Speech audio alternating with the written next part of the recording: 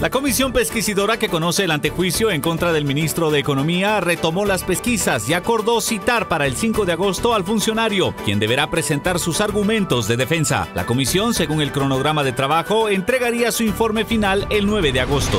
Una iniciativa de ley para reformar el decreto 33-2006, ley del régimen penitenciario, presentó el diputado Leonel Lira, quien propone la creación del Instituto del Sistema Penitenciario ajeno al Ministerio de Gobernación, la clasificación de reos previo a su ingreso a los centros carcelarios y la permanencia del director del sistema por un periodo de cinco años para no entorpecer el trabajo con constantes cambios de autoridades. La mesa técnica de trabajo que integran representantes de diversas entidades, entre estas el Ministerio de Cultura y la Comisión legislativa respectiva, continúa el análisis de las propuestas de reformas a la ley de espectáculos públicos. La institucionalidad de la ley y el perfil del director fueron los temas abordados.